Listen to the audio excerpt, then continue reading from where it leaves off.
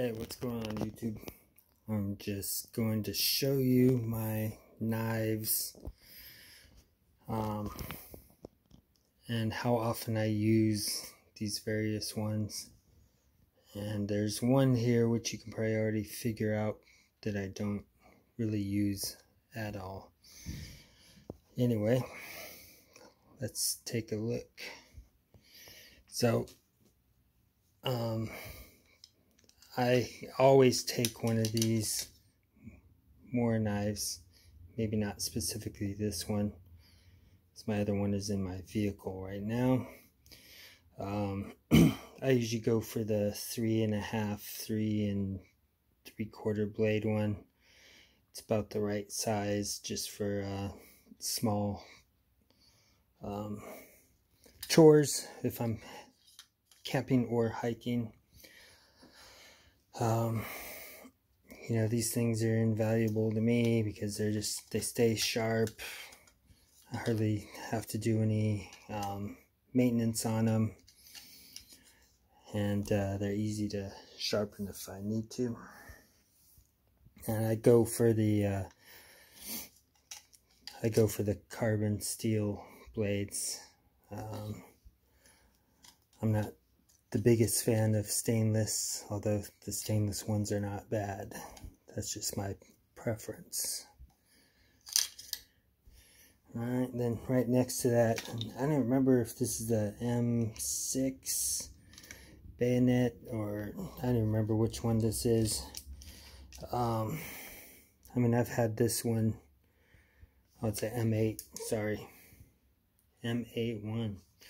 But, uh, This is the one that I don't really use. I haven't used this thing for about 25 years. And I would actually sell it, but there's just no there's no value for it on the market. There's so many out there that I might as well just keep it and see if my uh, son wants it or something like that they don't fetch that much money so I'm not even bothering to sell it right now. Um, obviously it's made just to uh, fasten onto a rifle you know specifically like an AR-15 or M16 but um, you know it doesn't mean that you can't use it and it can't be useful. It's just when you, when you see all these other things, it's really not worth it, I would say. That's my opinion once again. Uh, now here we have a Kabar. So this is a fighting knife. Um, this one is is more useful than the bayonet, but come on, it's a it's a fighting knife. So, um, see how thick that is on here. Now, honestly though, um, last time that I really used this was, gosh, what was it, about eight years ago when I was in the village. In case you haven't figured it out, I'm uh, half Inupiat or Eskimo and half white. But um, when I was at the village, I was using this to slice muktuk or whale blubber. Um, it, did pretty well because I mean, you know, because it's it's so th thick, um, it, I could really slice through there because you know it had some meat to it without uh, you know possibly something like this where it might you know muktuk's pretty thick stuff. I'd say about three three to four inches um, thick. And you just cut that through the skin and the blubber. Um, you know you could still use this out in the uh, the bush. Um, it's the way this thing's constructed is more for stabbing and slashing. Uh, you can use it for utility things but it's not optimal in my opinion. Um, now we right here we have a uh, what do they call this? Like a Lappland. Uh, anyway, this is from Helle, or I can't even say that name. But anyway, it's from Norway. This is called the Lappland, and um, it's also called like a mini machete. Um, this one is stainless steel. Um, I did not purchase this myself. This was a gift from an associate at one of the stores that I was a manager at.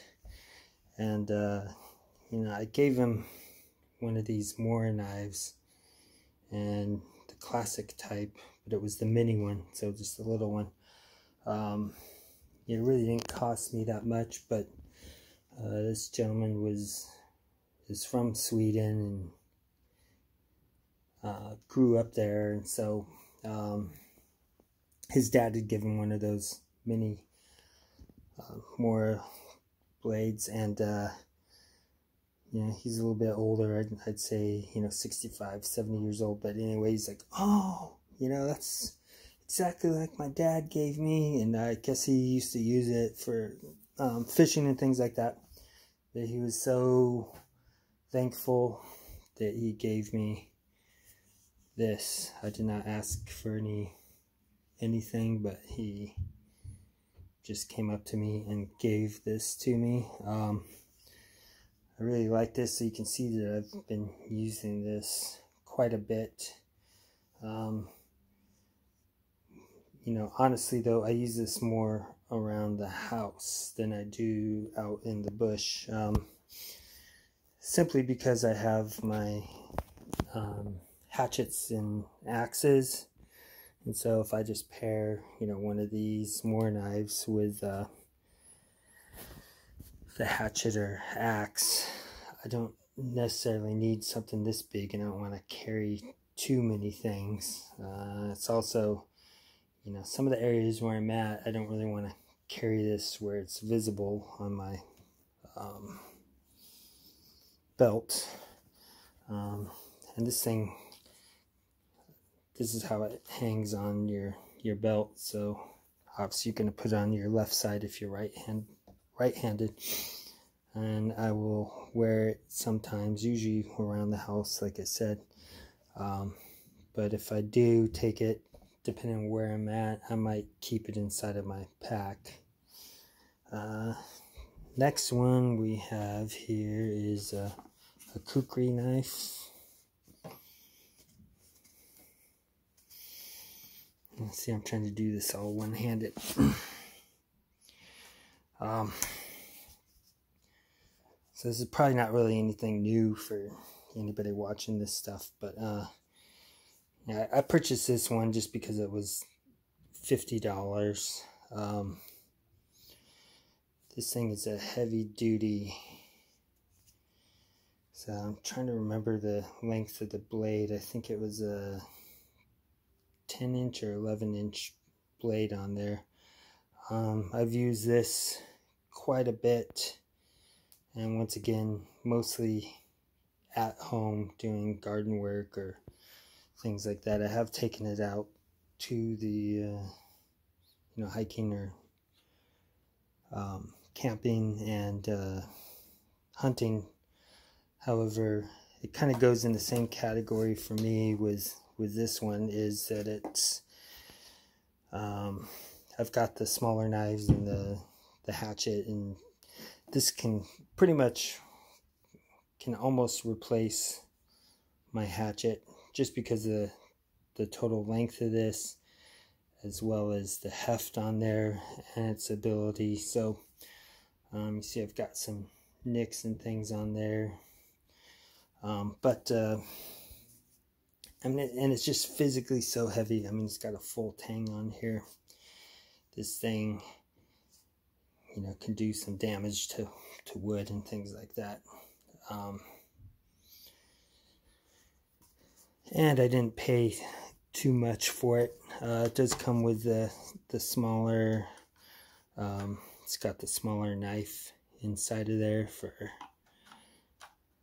detail work, and then of course is this a, a Chakmak. I don't remember what this is called. The other one is just the.